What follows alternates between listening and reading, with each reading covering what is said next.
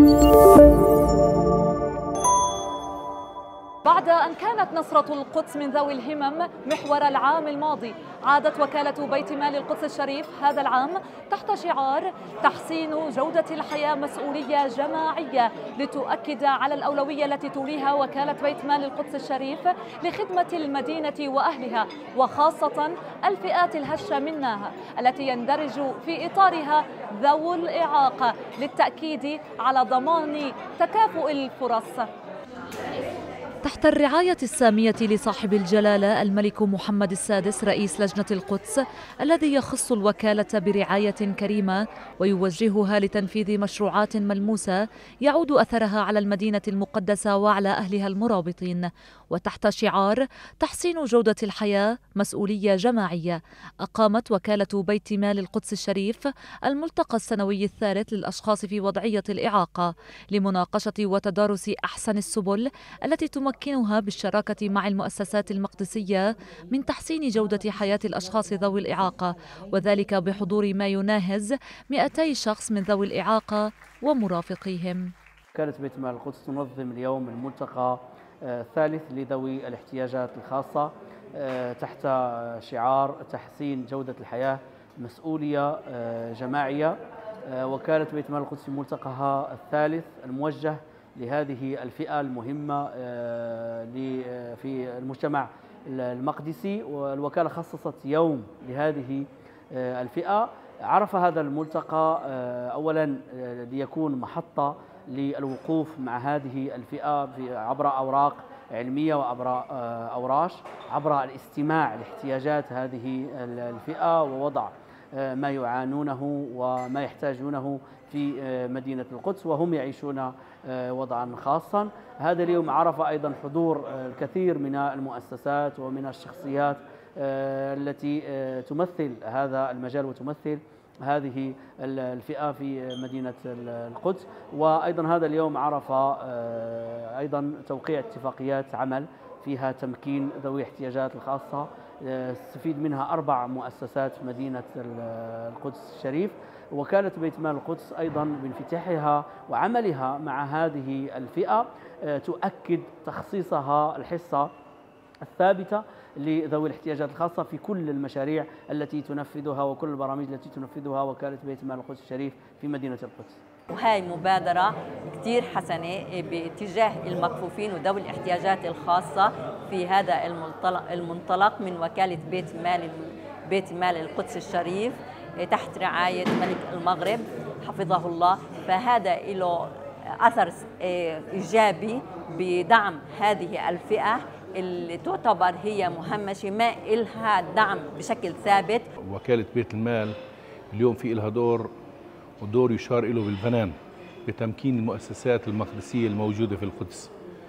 ومن الأهمية بمكان أنه الواحد يحكي عن دورها بتمكين هاي المؤسسات بالذات وبدون دعم وكالة بيت المال وجهات ثانية أخرى ما بتقدر المؤسسة تستمر في وجودها رغم كل هاي التحديات الموجودة. عشان هيك كل الشكر للوكالة. يعني وجود هيك ملتقى لأشخاص اللي هم مع إعاقات في منطقة القدس وفي هذه في هذا الوقت الحالي هو شيء كثير كثير بيلبي احتياج ملح. لأنه بالفعل الأشخاص اللي مع إعاقة بيعيشوا فترات كثير اللي هي صعبة ضغوط متاعب كثيرة تحديات كثيرة وبالتالي هم بحاجة لهذا الملتقى اللي كثير بيساعدهم إنهم على الأقل يطلعوا الصوت يطلعوا الأنين. الألم الوجع تبعهم وكمان يتشاركوا بشغلات اللي بتقويهم وبتشحنهم وبتقوي عزيمتهم عشان يقدروا يتقدموا في الحياة ينخرطوا ويندمجوا أكثر في شكر كبير كبير وتقدير كثير كبير لوكالة بيت المال اللي بتحتضن هيك نشاط في القدس من ثلاث سنين لليوم وبشهر أربعة بشهر نيسان اللي طبعا أكيد هاي السنة بسبب أنه في هنا كان رمضان والعيد تم تأجيله لهذا اليوم.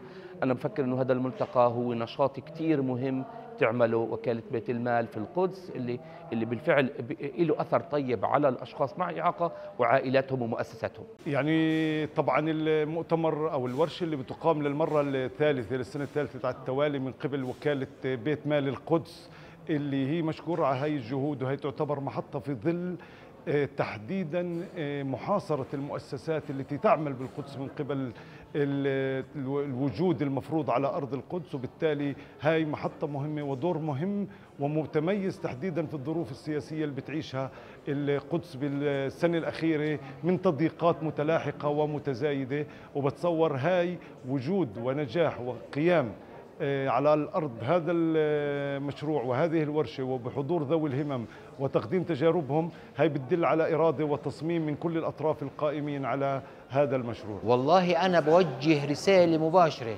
لوكالة بيت المال المغربية في القدس الشريف اللي قائمة على هذا العمل وغيره من الأعمال وأنا بوجه لها كل التحية والت- والتقدير.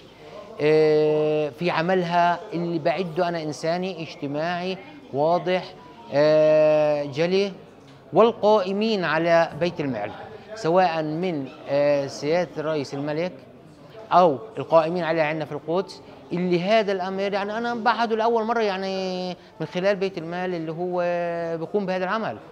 فوجه لنا المزيد المزيد من هذا العمل المزيد من هذا العمل وإحنا معهم. اليوم موجودين آه، أول إشي راح نوقع اتفاقية مع الوكالة آه، لجمعيتنا. وهذه راح تساعد الجمعية في عدة مجالات. من بينها يعني أحكي ال- التدريب على الموبيليتي الحركة.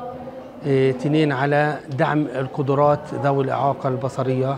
كبير بذوي الإعاقة في مدينة القدس. هذا إشي رائع جدا.